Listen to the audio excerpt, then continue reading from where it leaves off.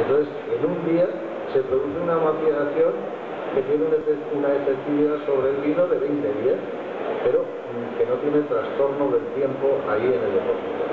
Bueno, toda esa serie de cosas pues han hecho que yo intente hacer un vino que tenga de todo, que tenga un buen aroma, eh, buen sabor, que la barrica esté presente, que tenga de todo, pero que no sobresalga nada y que a la hora de beberlo, pues sea un vino suave, a la vez potente, fino, a la vez eh, atractivo, en fin, una serie de cosas que tiene que tener eh, un vino. Un vino tiene que ser rico, aromáticamente eh, que no tenga ningún defecto y cada vez pues invite a beber.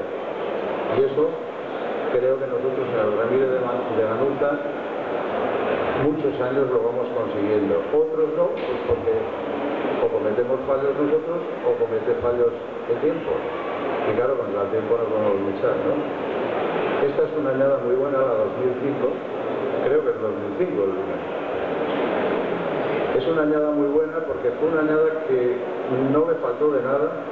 Veníamos de una añada anterior todo el mundo ha dicho que era la mejor, yo no estoy tan de acuerdo, pero como me han dado muy buenas calificaciones, tanto en el Remíquez como en el Gran Reserva y tal, no voy a discutir lo que digan los, que han ganado los vinos, porque no me conviene, pero el 2005, entre otras cosas, es el que vamos a vender a partir de ahora, creo que es mejor que el 2004.